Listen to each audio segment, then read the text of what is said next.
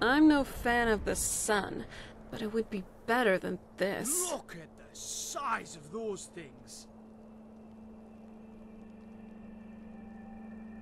Oh, you're sweet. I'll take you up on that offer after we finish up here.